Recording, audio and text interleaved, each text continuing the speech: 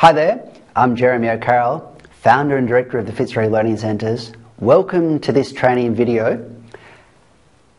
In today's video, we're going to be talking to you about phonics and just why it's so important with the Fitzroy method. Now, for those of you who are familiar with our program, you'll know that it's a phonics program, and it's therefore essential that you have a very good working knowledge of phonics systems to be able to teach our program. If you're not familiar with phonics, if you don't know how phonics works, then you're actually not going to be able to teach our program very effectively at all. So in this video, what I'm going to do is just run through some of the basics of phonics, and I'm also going to talk to you about some of the problems that often occur in phonics teaching.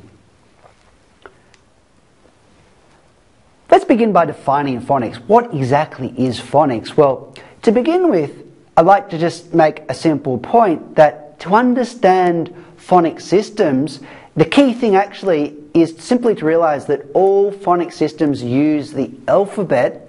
And what exactly is the alphabet? Well, the alphabet is nothing else but a sound code. In other words, each letter stands for a sound. So if we take a look at a word like ant, then ant is made up of three sounds at. And when we run them together, at, we get the word ant. And that's exactly how phonics programs work. Now, this is pretty basic. What I'd like to do now, though, is actually run you through some of the troublesome areas. These areas where even sometimes experienced teachers can run into a little bit of strife. Now, I'm actually going to be presuming in this video that you do have some phonics experience. In other words, I want, I'm hoping that you at least know the basic sounds the letters make. If you're not familiar with the basic sounds the letters make, and perhaps this is because you've never used a phonics program or you've never been taught a phonics program, then what you're going to need to do is actually go on to uh, the internet and or perhaps just use some of our materials like the Fitzroy sounds to educate yourself as to the sounds each letters make. Now this is an absolute uh, first step for teaching our program. You need to know the sounds the letters make. But I'm going to be presuming at the moment that you do know them. And what I'm going to be doing then is taking you through some of the letters that still tend to cause teachers difficulty. Before I do that though, I'd like to just point out an important point that there's actually a key difference between letter names and letter sounds. Now, the difference is quite simply that letter names are things like A, B, C, D, and E, but the letter sounds are the sounds those letters make, like A, B, K, D. And they're very, two very different things. And with phonics programs, actually, the only thing we're concerned with are the sounds the letters make because it's by using these sounds that we can actually start to learn to read and write, that we can actually start to form words. For instance, k, at, t, they're the three sounds. We run them together and we get the word cat. Now, the reason the names of letters don't help us is simply that we could say CAT, but we can't really hear the cat from the CAT, and that's why if we were two parents and we were discussing whether we should get our little girl a cat, but we're not really sure, and she is present, we might say, Well, do you think we should get Jessica a CAT? Knowing full well that she won't know what it is. But if we said, Should we get Jessica a cat? She might well perk up and think, Oh, a cat, a cat. And then, of course, she'll want the cat yesterday. And so, as you can see, there's a very big difference between the letter names and the letter sounds. So, just make sure that when you're teaching our program, you're focusing on the letter sounds. Okay, now, there is an issue which arises, however, here, and that is that many times the students you get to your classrooms actually already know the letter names. And so it's pretty confusing then. They come along to class, they know these letter names, they can even recognize some of the letters, and all of a sudden they look at a letter which they'd always recognized as an A, and you tell them that it's an A, and well, it is confusing. So, what you've got to do then is find out a way to help them differentiate between letter names and letter sounds and understand the difference in terms that they can understand. Not terms that you can understand, but in terms that a child can understand. Now, there's a very basic game we can play at this point, and it's quite simply this ask your students whether they have, say, a pet cat. And if one of them has a pet cat, ask the name, and the name might be oh, Puss Puss. And you can say, well, okay, you've got a cat and its name is Puss Puss, but what sound does Puss Puss make? And then they're going to say, uh, meow, or something to that effect. So then you've got a name, Puss Puss, and you've got a sound, meow, and they're very different. You can play the game again. You can say, well, does anyone have a pet dog? And they can say, oh yeah, I've got a pet dog. And one of them puts up their hand and says the name of the dog is, say, Rover. And you say, okay, your dog's name is Rover, but what sound does Rover make? And then they're going to say something like, ruff, ruff. and you can see that the two things are very different. You've got a name, Rover, a sound, ruff. Uh, and by doing it in this way, it's very easy for kids to say, oh yeah, things often have names, but you know what? The sound these things make is very different from the names. Likewise with letters. They've got a name, A, but the sound that letter makes is ah. Again, quite different. So if you explain it to your students in these terms, then they're going to very quickly recognize the difference between the two and not feel confused. Okay, let's move on now then to some of the difficult letters. These are letters that often prove difficult to teachers. Okay, now the first type of letters which proves difficult to teachers from time to time are the vowels. Now, why are the vowels potentially problematic? Well, quite simply because they make several different sounds. You've got long vowel sounds, short vowel sounds, schwas, that's the uh sounds, uh, all sorts of different sounds that they can potentially make, as opposed to some letters which just make the one sound. So, what I'd like to do now is just play a little exercise with you where what you need to do is try to think up words beginning with the basic letter sound a. So when I say the basic letter sound, what I really mean is simply the sound a letter makes. So A has the basic letter sound a. So what you need to do is give me some words like, you know, ant or apple, words like this or arrow, which start with an A and the basic vowel sound. So, just in your own head right now, just take a little bit of time to perhaps even write down a few words starting with this basic vowel sound a. Okay, I hope you've written down some words. Now, what I want you to check though is that they actually do start with the sound at not just the letter A. Because here's where a lot of people go wrong. They will write down words like aeroplane uh, an aeroplane does, in fact, start with the letter A, but it doesn't start with the sound A. It starts with the sound air, which is quite different. So if you've got words like aeroplane or apricot that starts with an A sound, then unfortunately they're not correct ones for this exercise. And the importance of this when you're teaching children is in the initial stages when you're giving them example words, etc. You're going to have to limit these words to words starting just with the basic sounds of letters, for instance, in this case, a.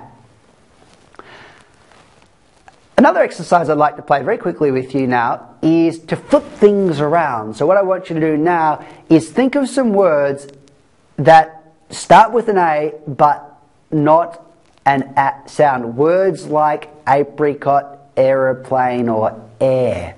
So just spend a little bit of time now, write down a few words, as I said, that begin with an A but not an at sound. Okay, I hope you've written down some words. Now, I want you to just check that they all, in fact, do start with an A and don't start with an at sound. So you can self correct yourself here, and I hope you did well.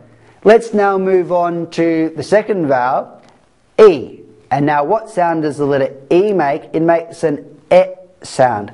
Now, if you're from Malaysia or Singapore, you actually have to be a little bit careful here because the sound you make for the letter E is a little bit strange, and often it's like an at sound, at, which is almost more like the sound the letter A makes. So, what you really need to do at this point is put the letter sound in context. In other words, give it something like e as in egg. It's not at for ag, it's e for egg. So, make sure that your the sound you the letter E makes is an e, not an a. Now, this is maybe it's hard for you to even hear the difference, but you've got to practice it. So, as I said, practice it in context. E for egg, e for extra, e for extraordinary, e for empty. You know, put it in the context of different words, and then you can clearly hear the sound. Don't make the mistake, though, of giving it more of an at sound, which, as I said, in Singapore and Malaysia, teachers are often tempted to do because that seems to be how they pronounce this letter sound.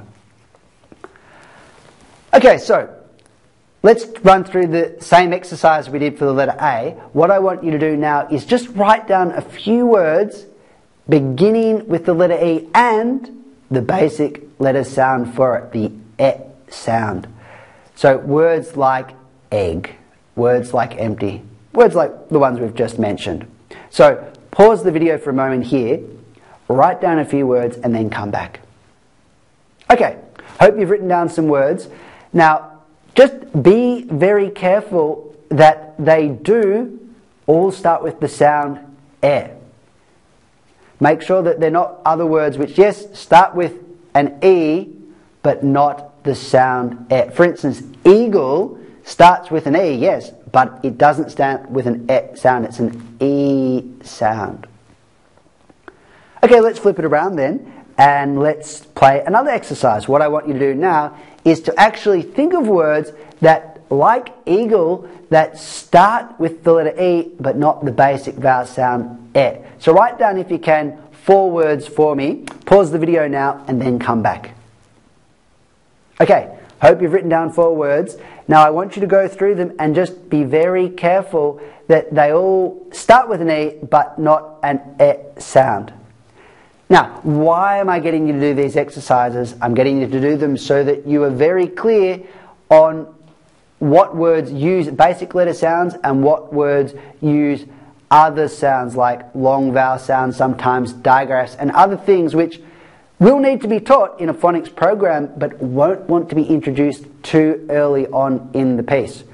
So, let's go on to the third vowel I, what sound does it make? It makes an it for ink sound. So again, I just want you to jot down a few words beginning with the letter I and the basic vowel sound it. Words like ink or igloo. So put down, pause the video, put down say five words beginning with the basic vowel sound it and the letter I, and then come back to the video. Okay, hope you've got your five words. Now, just be very careful that they aren't words like ice cream or island, because these words do start with the letter I, but not the basic vowel sound it. In the case of island and ice cream, we've got more of a long vowel sound beginning them. Okay, now flip it around again, and what I want you to do is the exact reverse and find words that begin with the letter I but not the basic vowel sound it. Words like, as we just said, island and ice cream or ice. Okay, so pause the video, write down three words like that, and then come back. Okay, hope you got your three words. Uh, just check to make sure that none of them use the short vowel sound it and then let's move on to the next vowel, which is O. Now, what, what vowel sound, basic sound does the letter O make? Well, it makes an O sound as in octopus or orange. So what I want you to do now is again, pause the video and write down five words beginning with the basic vowel sound O and also beginning with the letter O. Words as we said, like octopus. So pause the video, jot down these five words, and then come back. Okay, I hope you've got your five words there. Now, what you have to make sure is that these words not only begin with the letter O, but also the basic vowel sound O. So if you've got any words like open or oval, uh, then they're not going to be correct because these words, although they start with the letter O, don't start with the vowel sound, the basic letter sound O. Okay, so let's flip it around again. Play the reverse exercise where what you have to do is find words that begin with the letter O but not the basic letter sound O. Words, as we said, like oval and open. Okay, so pause the video, write down three words like that, and then come back. Okay, welcome back. Just check that with the words you've, the three words you've just written, none of them begin with the short vowel sound O. Okay, once you've done that, then let's move on to the final vowel sound, which is uh, for the letter U, that's an uh sound, uh as in umbrella, or ugly, or up, so what I want you to do now again is pause the video and write down five words that begin with the basic letter sound A and the letter U. So pause the video, write down these five words and then come back. Welcome back. Hope you've got your five words there. Now what you have to do is just double check them to make sure that none of them or that all of them start with an A sound. So make sure you don't have any words like unicorn or university, because although these words start with a U, they don't start with the basic letter sound A. So, just check those words, and then we're going to flip it around again, and I just want you to write three words now that begin with the letter U, but not the basic letter sound A. Words like the unicorn or unique. Okay, so try to find three words, put them down, and then come back to the video. Okay, great. Well, now we've gone through all of the vowels, let's move on to some other potential areas of difficulty. But actually, before we do, I, I want to just point out one thing, and this goes back to uh, the letter A and some problems that might be associated with it. Remember, we said that we gave examples of words that began with the letter A but not the basic letter sound A. Words like aeroplane. Now, if you think of a, a classroom, what do you often find on the walls? We often find alphabet friezes. You know, they're the ones where you've got an image and a letter underneath it. So you might have a picture of an apple and underneath it an A. Well, apart from Apple, oftentimes you'll see a picture of an aeroplane. Now, if we're not learning phonics, this isn't a real problem, but if we're learning with a phonics system, this is going to be confusing to your children because, as we said earlier, aeroplane begins with A but not the basic letter sound A. So what you're going to need to do then is if you've got a, an alphabet frieze, that isn't a phonics one, then you're actually going to need to put paste over the A or the aeroplane with a new image and make it something like an apple, which actually will work phonically. Okay, let's now go on to another troublesome letter, and that's the letter X. Now, what sound does the letter X make? The letter X makes the sound as in a C and an S run together or a K and S run together. Now, what difficulties do we encounter with this letter? Well, the main difficulty is that there actually aren't any words in the English language that start with the letter X and the sound X. So if you think back to the alphabet frieze, what images do you usually see associated with the letter X? Well, one common one's a xylophone. But the problem with xylophone is it doesn't start with a x sound, it starts with a z sound.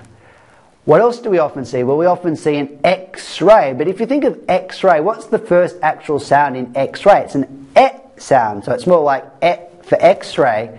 And again, that's just not appropriate. Now, unfortunately, we actually don't have a letter or a word in the English language, as I said, that starts with the letter X and the sound X. So we need to kind of create a workaround. Now, the best one you can do is something like this, x as in box, or x as in fox. It's not ideal, but it does work, and it's the best solution there is. Okay, now let's move on to two more letters, the letter L and the letter R. Now, what potential difficulties might arise here? Well, if you're in an Asian country, uh, and a country which speaks Asiatic languages, then often they str- people in these countries struggle to hear the difference between the sound the letter L and the letter R makes. That's why sometimes we make a joke about, you know, going to the Chinese restaurant getting our favourite fried rice. And that probably wouldn't be very tasty. So, if you're in a, a, a country where English is actually commonly spoken, however, this isn't really going to be such an issue. Sometimes I think teachers can make the mistake of overworking a point. So your children come in and you hear that they struggle to differentiate between the sound the letter L and the letter R makes, and what you tend to do is just correct them and give them, test them and test them over and over again until you hope they actually get to hear the difference. The problem is that this process actually takes time. New neural pathways need to be created from the ear to the brain.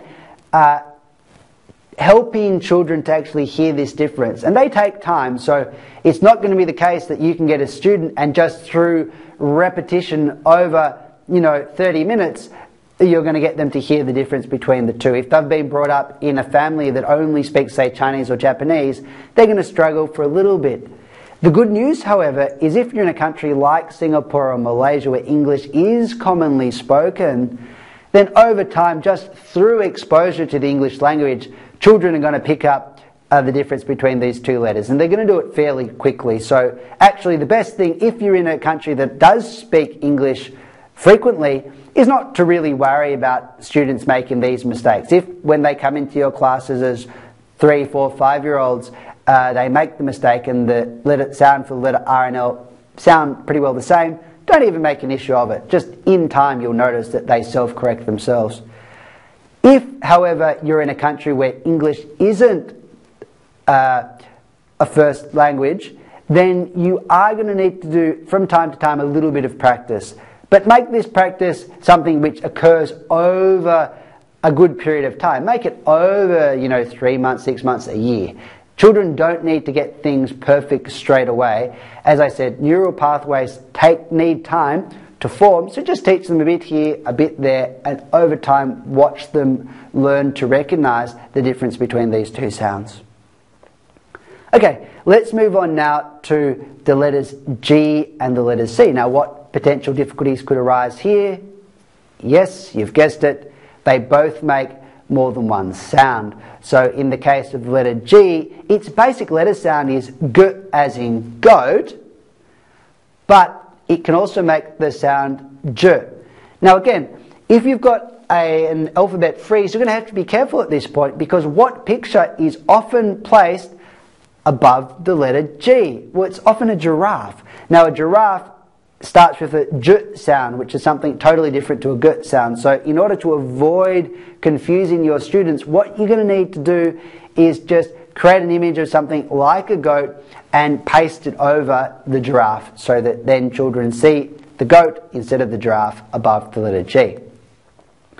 With the letter C, well, it can make its basic letter sound is a k, but it can also make a s sound. So again, just make sure that the image on your alphabet chart is in fact something like a cat, not a word like a snake, for instance. But that isn't really very common, but just notice that, you know, the letter C does make more than one sound. Okay, let's move on then to the letters M and the letters N. Now, what sound do these letters make? Well, the letter M makes a mm sound and the letter N makes a mm sound. But often you might know that they get taught a little differently, like the letter M making the sound m and the letter N making the sound N. Now, these days, using M and N tends to be frowned upon, but perhaps a little bit more than it needs to be. What you'll discover is that when a word starts with the letter M or the letter N, then the M and the N work perfectly. It's just that sometimes when you get an M or an N in the middle or towards and the end of a word, then they don't make the M and the N sound. And that's why it's technically a little bit more correct to teach the M and the N because they're going to work wherever the M is or the N is found in the word. Now, that's not to say, however, that teaching M and N is never useful. In fact, it will be useful in circumstances where your student or students struggle to really hear or say the n or the n. If you have children who are struggling to catch on to the sound this letter makes, then sometimes it's actually okay to teach them m or n, and then over time teach them the other potential sound, which is more of a, uh, the m or the n. And what you'll find here is that to begin with, children will, who have previously struggled with the m or the n can quite easily use the m and the n. And then, you know, once they're a little bit more competent at reading and writing and hearing sounds, then, as I said later on, you can teach them the m and the n. And this works well. In fact, I think we should remember that uh, people like my grandparents' generation all actually learnt m and n. That was the sounds these letters made, you know, if we go back 60 or so years. So, and, and these parents, you know, the grandparents' generation all learnt exceedingly well to read. So it does work, even though it's technically frowned upon a little bit more today. Uh, but my suggestion to you is just don't use it straight away, but if your children are struggling to really hear the sounds for these letters M and N, then don't feel bad about introducing the M and the N. Okay, finally, I'd just like to look at the letter Q and ask you what sound does the letter Q make? Think about it for a moment. Yep, that's right. The sound the letter Q makes is a qu sound, as in a K and a W strung together or a C and a W strung together. Okay, so what do we know then about English? Well, we know it uses an alphabet. We know the English alphabet has 26 letters. And we know that each letter represents a sound, but the important thing to note here is they don't all represent a unique sound. Sometimes these sounds double up. For instance, look at the sound the letter C makes, k, and look at the sound the letter K makes. Oh, it almost also makes a k sound. So we're actually only getting one basic letter sound from two letters here. And in fact, we can look at other letters like the letter X and we see that it's made up of actually two other sounds, the K sound and the S sound.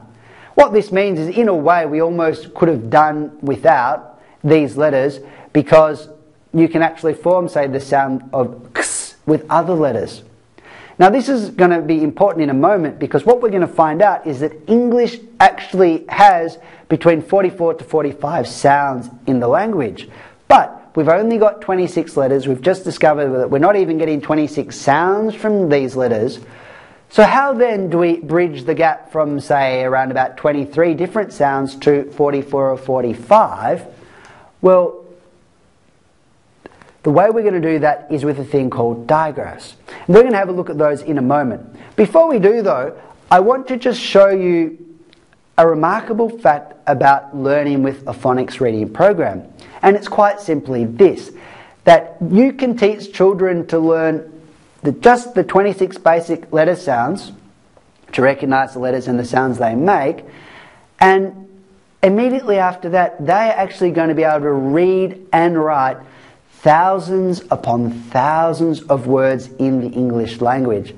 Now, that takes a little bit of time to learn the first the, the, the alphabet, you know, these 26 letters.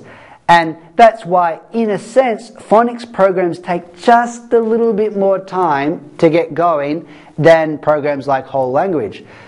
Think about it. If you were learning under a whole language system, on the very first day of class, you might even be able to get your students to recognize words like ice cream or cake or even big ones like football. What you'd do is you'd show them an image of, say, a football, you'd show them the word written out of football, you show them together together many times, and before you knew it, they could probably actually then guess if you held up the word, the letters for football, they could actually read football. So then they could go home to mum or dad and say, Hey, mum, dad, guess what I can do? I can read the words football and cake, uh, all these difficult words. And the parents are like, Wow, this school must be like really good.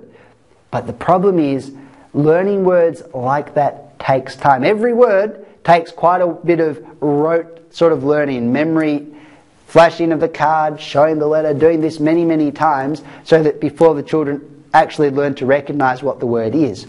And you have to learn, you know, one word after the next. And because English has so many words, thousands upon thousands, hundreds of thousands in fact, then it's almost impossible to learn to read and write everything using this method because it's simply too taxing on the memory.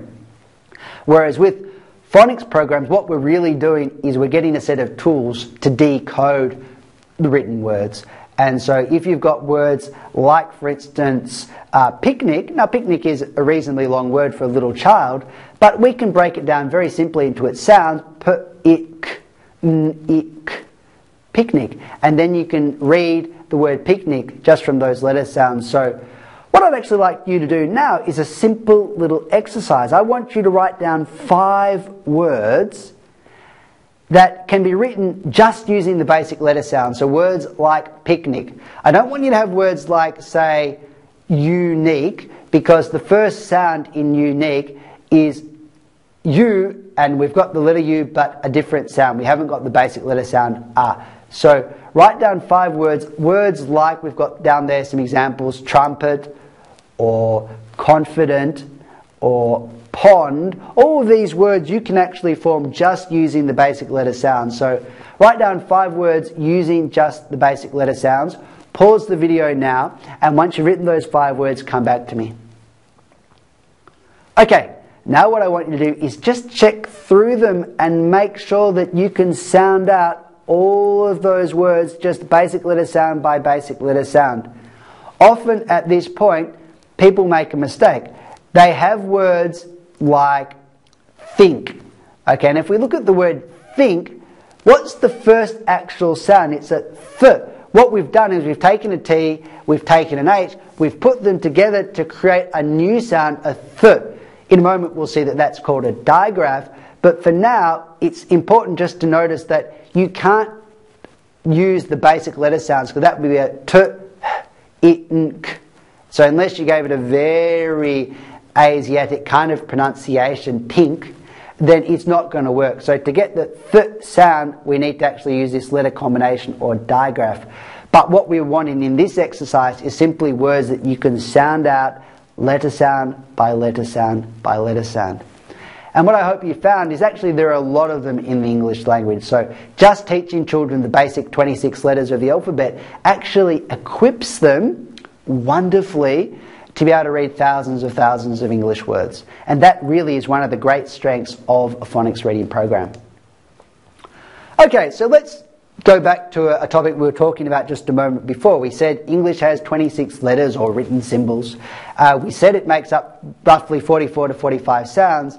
But how do we bridge the gap from, you know, the, well, what was really turned out to be more like 23 sounds, which unique sounds that the letters of the alphabet made up to the 44 or 45 sounds of the English language. Now, just a note on 44 or 45, you might be asking, well, how many sounds is it? Is it 45 or 44? Well, that kind of depends on where you draw the line. So, some experts say 44, some say 45. But for now, we don't need to go into great detail there. We just need to know that more or less it will make English language has 44 to 45 sounds. Okay, so the solution though, as we've kind of touched on, to create more sounds is simply by putting letters together to create a new sound. So if you look down at the bottom of this slide, which we're now going to show you, then you'll see that we've got digraphs like ch and all and shun. And these digraphs uh, are formed by adding different letters together and then we get a totally new sound. Now, the thing to remember is that we're actually creating a new sound, something totally different from the basic letter sound. So if we have uh, the letter sh, or the digraph shun, then the basic letter sounds would be t, i, o, n, which is very different from the shun sound. So you see, digraphs are creating a totally new sound. Let's take a look at the two reader images we've got there. We've got reader 15 now. Think about it. What digraph do you think is being taught there in reader 15? Yep, you guessed it. The digraph all as in tall and small. What about reader 17? What digraph do you think's been taught there? Yep, the sh as in fish. Now, there's a very important thing to note here, and that is that digraphs are not blends. A lot of you will be used to using blends and will even have been teaching blends in your classroom. Well, what I want to tell you now is in the Fitzroy method, we do not use blends as a teaching method. Why not? Well, let's try to work out exactly what a blend is. Blends can be described in different ways, and you've got different sorts of blends, what you could call perhaps blends or pseudo blends. But let's just have a, have a look at a few to make the matter clear. Let's look at a word like a blend like k at. Okay, so we've got the k and the blend at. What's really happening here? What's happening is quite simply that we're running the at and the t quickly together to get the sound at. But the sound at isn't a new sound. It's, not, it's simply the basic letter sounds strung together. So it's not like ch, you know, where you get the k and the to form a totally new sound ch. It's something different. It's just using the basic letter sounds. So our argument is quite simply this. If blends are nothing other than the basic letter sounds run together, then what you really should be doing is focusing on these basic letter sounds. Just spend extra time teaching those and you won't ever need to teach a blend. Because if you start teaching blends, then what you're actually doing is making life far more complicated for your students. Why is that? Well, think about it. What is the beautiful thing about the English alphabet? The most wonderful thing about it is that it only uses 26 different symbols. Okay, 52 if you count capital letters, but for the basic lowercase letters, you've got 26 symbols to learn. That's not too many. That makes it quite easy. I mean, compare this to a language like Chinese, where you've got thousands and thousands and thousands of characters. Learning to read, therefore, is a very difficult task. But in English, with only these few symbols, it makes things manageable. But if we start teaching blends like at and uh, gl for glad and things like this, then what we're really doing is we're adding dramatically to the number of symbols that children need to learn to read and write. And this is going to lead to confusion.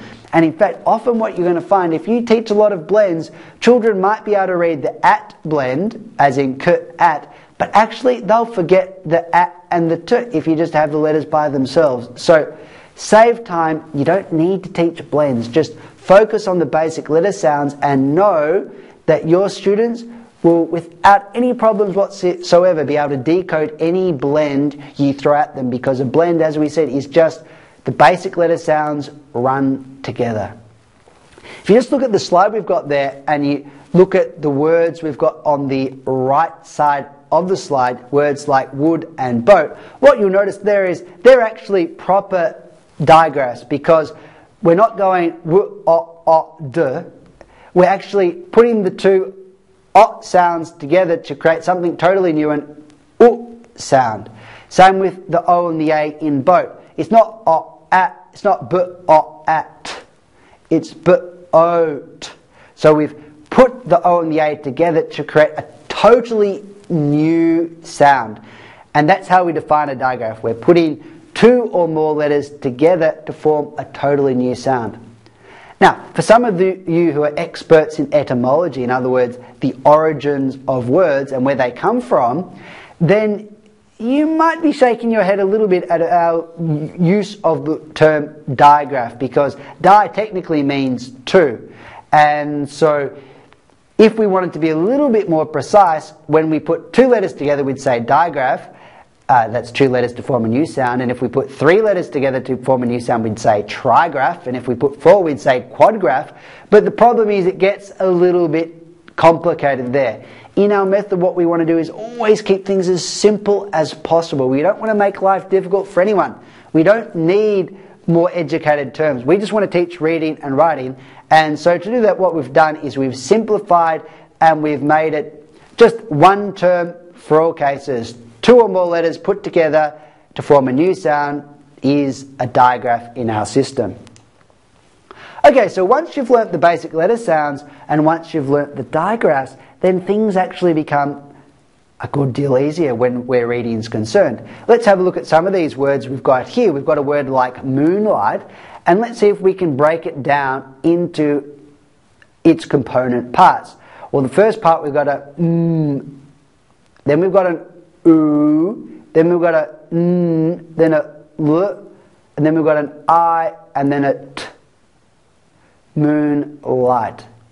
Okay, so you see all we've done is we've strung together the basic letter sounds, the digraphs to form the entire word. And in fact, once we know the main digraphs in the English language and once we know the basic letter sounds, then we're going to be able to read a huge percentage of English words. Let's have a look at the word leaping and let's see if we can break it down in its component parts. So we've got the first sound is l, then next is e, then p, then ing. So we've got a few basic letter sounds, or a couple, of, two basic letter sounds, and two digraphs. We put them together and we get the word leaping. Okay, that all sounds pretty good. We, we learn basic letter sounds, we learn digraphs, and all of a sudden we can read thousands and thousands of English words. But we all know at the same time that English is and can be a little bit irregular. And that's perhaps one reason why people went off phonic systems for a period of time and started using systems like whole language because the argument ran English is so irregular that there almost isn't any point learning rules. Well, is that true? Let's look at a, a sentence now and see just how much of it could be considered phonic and how much non-phonic. So the sentence we've got here is the cat was on the mat. Now if we break it down into non-phonic and phonic words, for non-phonic we get that, was and that, and for phonic we get cat, on and mat. So here we see that about 50% of this sentence is phonic, we can just sound it out using phonic rules, and 50% of it is irregular. So is this a true reflection of the English language as a whole? Is phonics only good to cover about 50%? Well, let's have a look. Fact, what we're going to find is that phonic systems do far better than that. But we need to learn a few key components, and if we do, we're going to discover a remarkable fact that just by using phonics, we're actually going to be able to decode or read 90 to 95% of the English language. So, what are the key components that we need to learn to be able to read 90 to 95% of the English language? Well, first thing was quite simply the basic letter sounds. We learned those. Then the next thing is we learn the digraphs. Now, in our system, we have about 60 key digraphs which we teach. So we learn the digraphs. Then we also need to learn what's called phonic rules. Now, what exactly is a phonic rule? Well, Let's have a look at, at this next slide and we'll see a word like get and then imagine we want to add the ing to make it getting. Well, how do we do that? How do we get transform get to getting? Well, we learned that you actually have to double the T. Now, why do you double the T? You have to double the T so that we can maintain the short vowel sound, the et sound. If we actually didn't double the T, then we'd get have, the word would be pronounced geeting because the, it would then have a long vowel sound. So what you learn is when you've got a word which, uh, a single syllable word which has a short vowel sound, when you want to add, say, ing to the end, you've got to actually double the consonant on the end. And that's just a, that's just a grammar rule. And in our program, we teach a number of these rules, and they are all going to help you read and write more effectively. Okay, so you've learnt the basic letter sounds, you've learnt the digraphs, you've learnt the spelling rules. What else do you need to learn? We actually need to learn the 50 most common special words. Now, what exactly is a special word? A special word is an irregular word. It's a word that you can't learn a phonics rule for and you just have to memorize it. Words a bit like said or I, uh, these words, it's very difficult to find a rule for. Now, Okay, technically you can find a rule for most of these words, but it's so obscure uh, and it relates to so few words that it's not really worth reading. So it's actually simpler in these cases simply to memorize some of these key words. So if you memorize the 50 most common special words, then what you're going to be able to do is uh, actually read in, when you learn these in conjunction with the basic letter sounds, the special uh, the digraphs and the phonics spelling rules, then you're actually going to be able to read up to 95% of the English language. So that's a remarkable fact, a fact which most people don't realise. Actually, English isn't as irregular as you might first seem. You, you can learn rules, and these rules are really going to help you learn to read and write the huge majority of the English language. Now, we're not saying that phonics systems are perfect. Of course, we're not getting 100% accuracy here. We're only getting 90 to 95%. But our argument is this. Isn't it better to be able to have a rule for 90 to 95% of words and then be forced to memorize just 5% of the English language as opposed to needing to memorize 100% of the English language? Of course, that's a far more difficult task. Okay, so let's now just have a look at phonics compared to whole language, which is the other main reading system available today. Okay, let's look at the first word we've got here on this slide, chicken. Now, if we look at the word chicken, uh, then we'll see that it's breaking up into a few different component parts. We've got the ch, the it, the k, and the e, and the n, chicken. Now let's look at the word beneath it, chin. Now my question is this, if you learnt to read chicken phonically, could you actually read the word chin? Let's imagine you've never seen the word chin before. Can you read it? Well, the answer is yes. Why is the answer yes? Because all the component parts in the word chin have already been learnt in and discovered in the word chicken. We've got the ch, the it, and the n. So you might never have seen it. You might even even know what the word means, but you can still read it. And that's the beautiful thing about phonics. You learn the tools, you apply these tools even to words you aren't familiar with, and you can decode them. In other words, you can read them. If this were whole language, however, we'd have to learn the words one by one on an individual basis because in whole language, they actually, in its pure form anyway, don't teach the sounds the letters make. What they do is they just show you a word and get you to memorize it.